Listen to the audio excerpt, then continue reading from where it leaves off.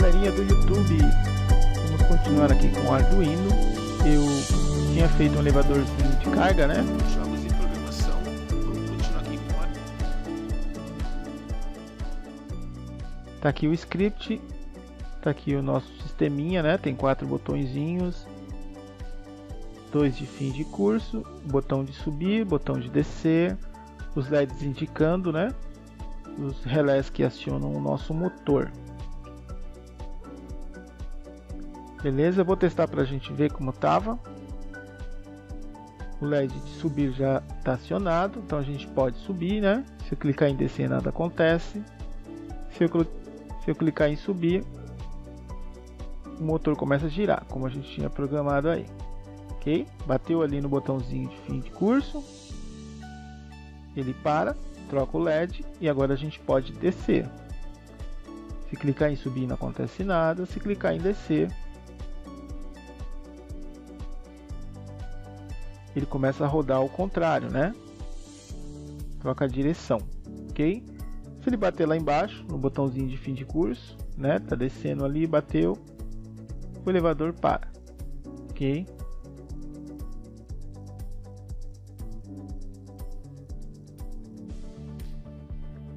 Belezinha? Eu coloquei os LEDs, mas eu esqueci de acionar o pisca-pisca. O pessoal notou, eu, comecei, eu fiz o pisca-pisca, mas não finalizei, acabei esquecendo. Bom, vamos fazer isso aqui, é bem simples, né? Eu só preciso colocar um tempo aqui para o nosso contador, o nosso timer.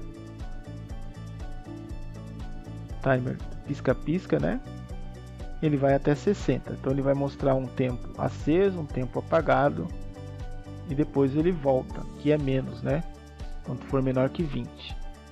Passou de 60, ele passa a ser zero, começa a contar outra vez. Aí ele vai acender, vai apagar, vai acender, vai apagar, ok? Só isso. Então vamos testar para ver. Vou colocar aqui no Arduino e vamos testar. Está aceso ali para subir. Vou clicar em subir.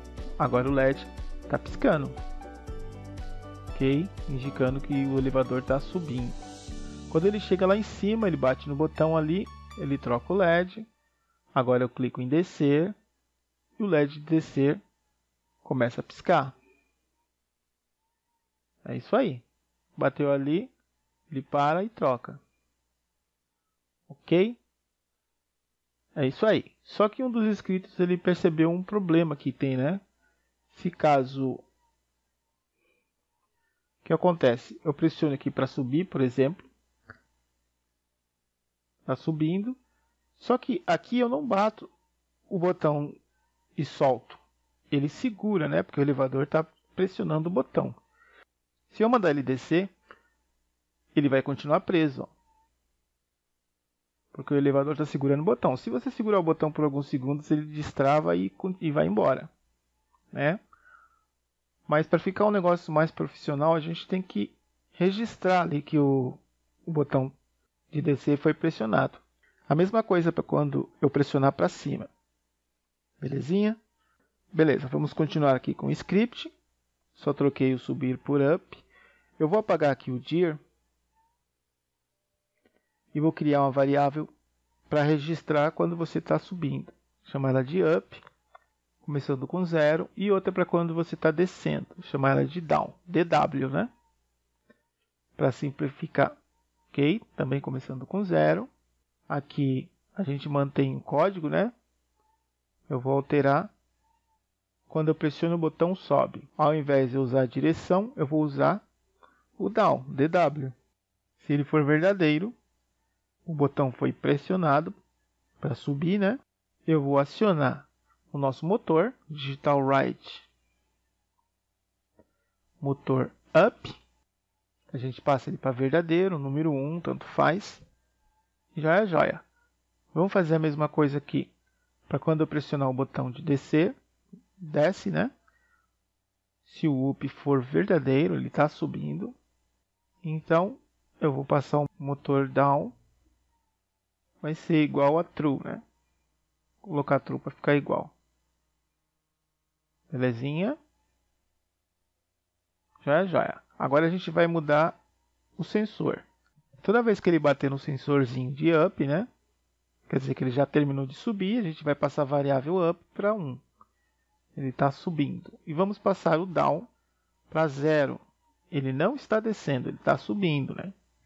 Ele chegou lá em cima. Também aqui a gente vai mudar o estado do nosso motor. Vamos desligar ele, né? Ele não vai estar tá mais subindo. O motor up vai passar a ser false.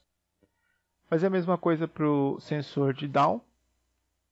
Vamos passar o down para 1. Ele bateu lá embaixo, né? Chegou no final. E aqui a gente vai passar o up para 0. Ele não está lá em cima, ele está lá embaixo. Fazer a mesma coisa para o motor down. O motor down vai passar a ser falso. Joia, joia. Só essas mudanças aí, né? Agora os demais a gente pode apagar. Depois a gente continua. Aqui já está a lógica do sistema funcionando. Apagar aqui também o pisca-pisca, a gente faz de novo. Somente essas quatro linhas aqui, ok? Vamos testar para ver. Belezinha, só virei ali o botãozinho de subir. Bom, tá aqui os nossos LEDs, nossos botões, botãozinho invertido, simbolizando que o elevador está batendo ali nos botões, né?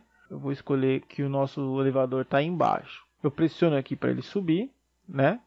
Ele tem que soltar o botão, porque tá, o elevador está subindo, ele largou o botão, ele bateu no de cima, porque chegou lá em cima. Para. Já é joia. Agora eu posso descer. Cliquei em descer.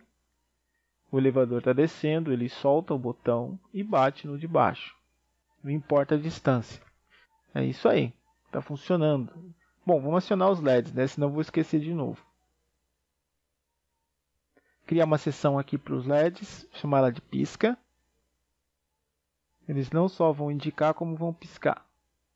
Digital Right, a gente vai utilizar os LEDs, né? Pera aí, deixa eu ver o nome que eu coloquei aqui. Subir e desce. O LED subir. Ele vai ser igual ao up, se o up for verdadeiro, ele acende. Ou, se o nosso digital red, ou seja, se o nosso motor estiver ligado, um motor que sobe, e se o nosso timer, vou colocar um tempo para ele poder piscar, né? Se o nosso timer for menor que 10, vou colocar um pouquinho mais rápido. Não precisa colocar mais rápido, pode ser 20 mesmo, porque o Arduino é mais rápido que o simulador, né? O Arduino é um pouquinho mais rápido, quase, quase o dobro da velocidade. Mas aí o pessoal muda aí a gosto, né? Se quiser nem põe também. Aqui é só para a gente brincar. Na hora de descer se o DW for verdadeiro, ele está descendo, ou se o nosso motor down estiver indo para baixo e o nosso timer também for menor que 10, aí o LED vai estar tá acendendo, ok? Bom, para a gente poder contar esse timer, eu vou colocar aqui timer mais mais, né? Timer pisca mais mais.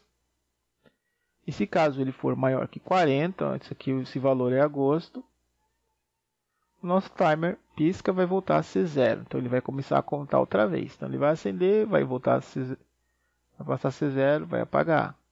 E assim por diante. Ok? Bom, inicialmente nosso botão já está, já escolhemos ali para baixo, né? Eu só posso subir.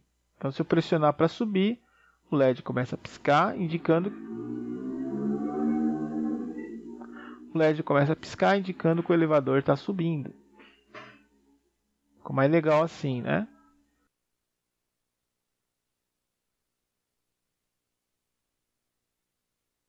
Beleza? Solta o botão, ele está subindo, subindo, subindo, bate no botão de cima e para.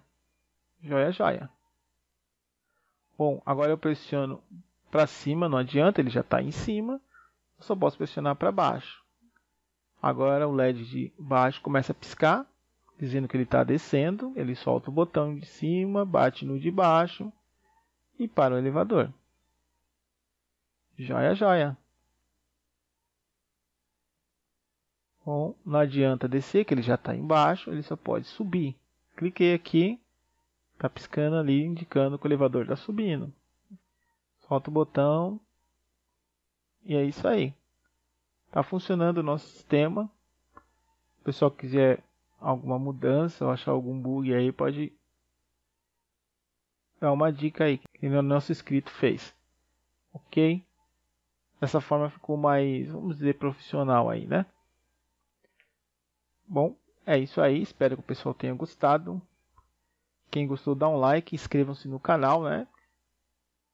Divulgar aí quem gosta de eletrônica, quem gosta de Arduino, que a gente mostra como se faz aqui. Vou deixar o esquema na descrição do vídeo, o pessoal estudar aí em casa e praticar, ok? Até a próxima, galera. Continua aí com a gente. Valeu!